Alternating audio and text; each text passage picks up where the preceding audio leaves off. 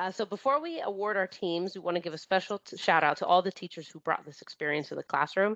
Um, I can tell you it is, um, I almost got emotional there. Oh my God, I was thinking about all my teachers and all the stuff, amazing stuff that my teachers have done for me kids, we all know that we wouldn't be where we are without our teachers. I'm really getting emotional. Oh my God, I was not expecting this. So, thank you, teachers, for everything that you do. You guys put a lot of time and effort into this, and we want to specifically uh, give an award out to the Best Teacher Award, and that goes to. Mr. Devin Franklin, and he is from the Discovery School at Hebron Middle School. Woo! So I would like for Mr. Devin Franklin to get on the screen and to say a couple of words. And we also have some questions for you. Hi, can you hear me? Yes, we can hear you and we can see you. Excellent. Well, I'm here with some of my coders and I know they're really excited. I'm really excited. Uh, just like you, I, am feeling a little emotional as well. Uh, this has been such a great opportunity, such a great uh, competition. We've enjoyed it so much and I'm so honored. Thank you. Awesome. Glad to hear it. uh, so we do have some questions for you. Uh, how was your experience throughout the competition? I think it was fantastic uh, from from start to end. Um, the opportunity to be able to use uh, the CoderZ platform and be able to get some experience with programming robots. I mean, I think all of our students here were I just robots are inherently interesting, so they leapt at the opportunity.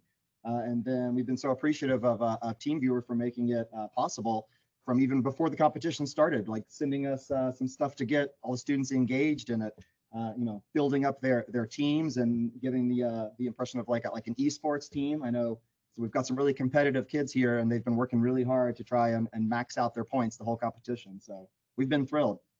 That makes my heart so so so so so happy. You have no idea. Um, now, what kind of skills and experience did your students learn throughout the process? Skills and experience. Oh, I mean, so much. Um, so there's obviously at the you know at the surface level, you get the introduction to the computer programming, the coding, uh, and I know, like I said, we have a lot of students here that I think are interested in doing that down the road, career-wise. They understand that robotics is you know the future. Um, so those fundamental skills at, from the computer science level in terms of thinking algorithmically and uh, being able to apply mathematical reasoning uh-huh. proportionality and geometry like that's that's been incredible the whole way and then beyond that uh, you know the way that the competition is structured they, have been able to work on those sort of uh, those soft skills those 21st century skills that they can apply in any field like uh-huh. collaboration and communicating with their team members and trying to think creatively about how to solve some of these problems so yeah, I mean the, the, the skills that they've learned from computer science to more broadly, I think are, are going to be very valuable down the road. For sure. And I, I, definitely, I'm happy that you pointed out the soft skills because during the robotics competition, it's not just you, yourself, and I. You you have to really work as a team. And in everyday life, whether you're a teacher, whether you're an engineer, whether no matter what, you have to work with other people. And that that's such a great point. Um, last question Is there anything inspiring you want to say to the kids who really like coding and think of it as something they might want to do in the future? I would just say that thanks to platforms like CoderZ and, and TeamViewer, like if that's something you're interested in, something you want to do, and there's certainly a need for it, and, and there are there are opportunities out there like this one that we're that we've been so thankful for. And so uh, if you that's something that you desire, I would suggest, just like these guys, that you surround yourself with other people that are uh, similarly interested and that you work uh-huh. together and collaborate. And, you know, there's no limit to how far you can go.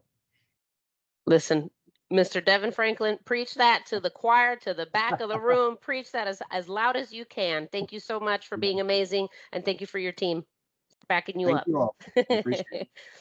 so for our next commercial break, uh, let, we're going to watch a video from the team called Little Omegas from the Temecula Preparatory School in California. And the teacher is Miss Kristen Mattingly.